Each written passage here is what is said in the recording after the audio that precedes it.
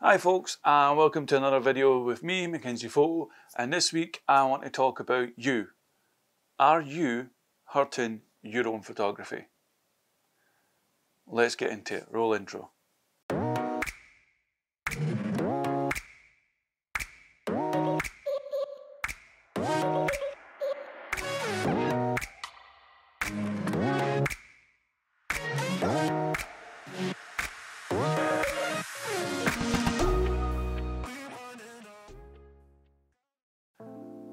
Okay, so are you hurting your own photography? What do I mean by that? Well, what I mean by that is, are you just continually shooting and not getting the results that you want? Now, there is some factors that even I'm guilty of that um, could be avoided by a few simple techniques. Now, I've written down some stuff, some key points, and I'm going to go over them. Are you overshooting?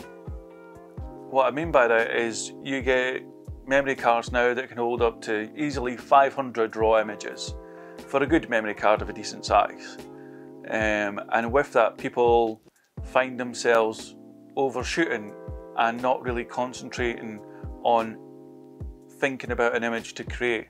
So you'll find someone that, and I've been guilty of it myself, shooting 10 frames of the exact same thing, not changing anything up, not slowing down to think about the image. So I'm just spraying and praying and I'm sure you are guilty of it as well. I think everyone's done it at some point because you have the freedom to do that with digital photography.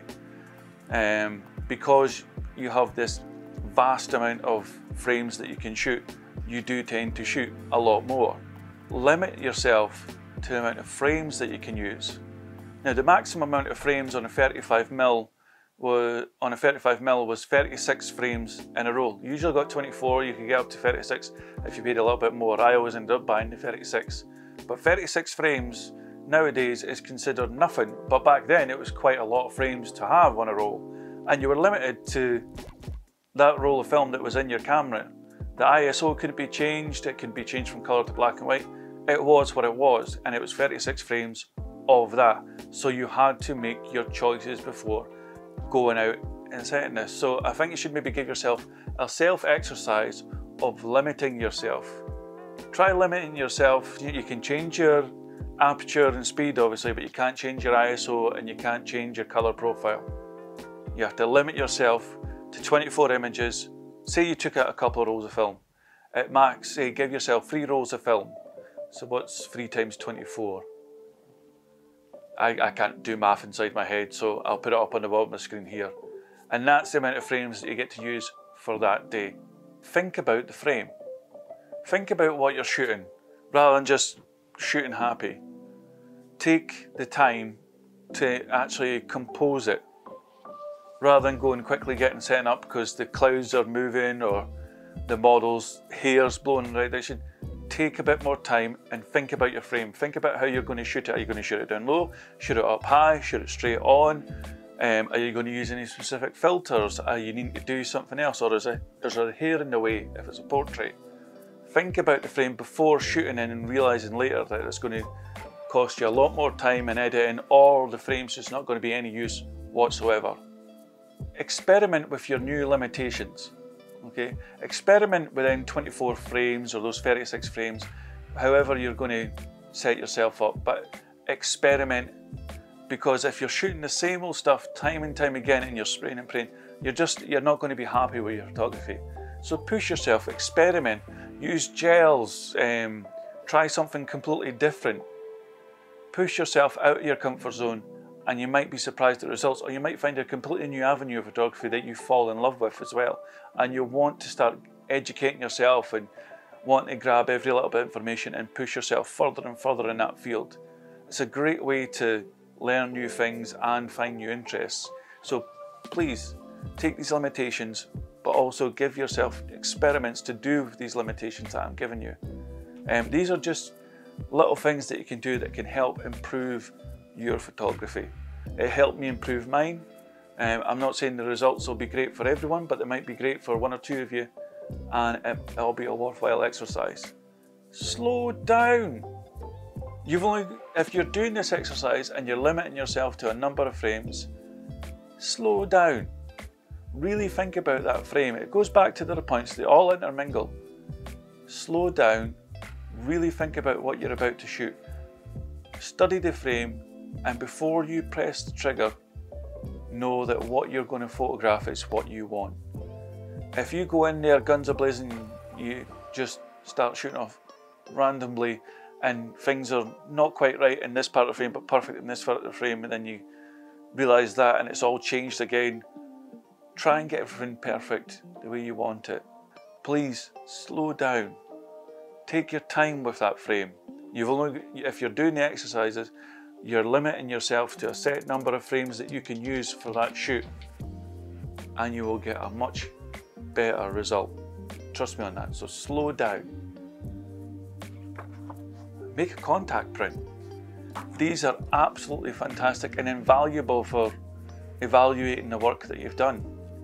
Um, one, it's something tactile that you can feel and you can study and look at rather than on a screen because it's great on Lightroom and stuff where you've got it in the bottom, you can quickly move in between.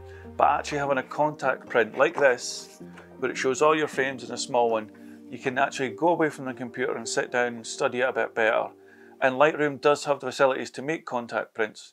So print yourself off a contact print, sit down and study it and note things down on a contact print, where you went wrong in this frame, what you did better in that frame, what's what's the better composition in each one. Trust me, it'll help you. And keep these. When you're out shooting, you're not allowed to delete the frames that you mess up. You've got 24 frames. If you mess up a frame, that's it, tough luck. Because when you worked with film, you didn't have that option of deleting and going back. So you've got 24 frames on, say, a roll of film, that's it. That way, if you make a mistake, you have to learn from it. And with a contact print, you will be able to see your mistake physically on a piece of paper, study it and learn from where you went wrong. Or if it or if messing up that frame made you realise that you're going too fast, fantastic, you'll know for next time. And the more you do these experiments, the better you'll become and using a small amount of time scale to get the shots that you want. It's going to save you money and time in the long run. It's going to cost a bit more just now with ink and paper or if you're sending off film. If you're doing this on film, fantastic. If you're trying to emulate film with digital, doing it this way, fantastic again. But doing these little things will help you become a better photographer. Once you've decided that you want to print a frame from your images, print it. Don't just leave it on the computer, actually print it. Print it A4 or A3 if you've got bigger. Or if you're like me and you've got an industrial size printer in your living room because you're an idiot and you bought it on eBay one night, um, well, slightly inebriated, um, and it was going for cheap, then you spent about a month fixing it. But I ended up with an industrial printer in my living room. But I find it completely worthwhile. but if you've got a small printer at home, get it printed or use one of these online things that you can get prints for free and you get little 6x4s. Get your images printed up it's such a different experience having a tactile thing to show your work. Now I know I've only got contact sheets here, but I do have loads of prints kicking about. Um, not within arm's reach, so I'm not going to grab them just now. But these are absolutely invaluable in improving your photography. And once you see your print in person, it makes such a difference. Especially on that piece of photographic paper. It just feels different to viewing it on a screen. Show people your work. Show people that you know well, your family, your friends. Show people your work. Get feedback from it. Some or get other photographers to give you feedback on it. There's no point in you shooting and not showing your work and no one saying anything about it. Show it to your family, your friends, your colleagues.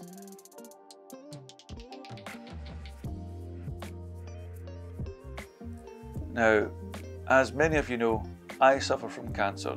It's my second round of cancer, and this time it's in my liver. Um, I'm going in for surgery soon, and hopefully they'll get it all, and then this will be the last surgery that I have to have to get rid of it. Now, we are all capable, boys and girls, of checking the places where we need to check. So, girls, you know what to check, boys, you know what to check. And all you do is have to give them a feel. If there's anything strange, go to your doctor. If you've been feeling unwell for a few weeks, go to your doctor. If you're worried about anything, go to your doctor. Don't self-diagnose on WebMD or anything like that. Go to your doctor. These are medical professionals that have studied for years. And if you're worried, they're there to help you. I don't want anyone to suffer with what I've had to go through. So please check yourself against cancer.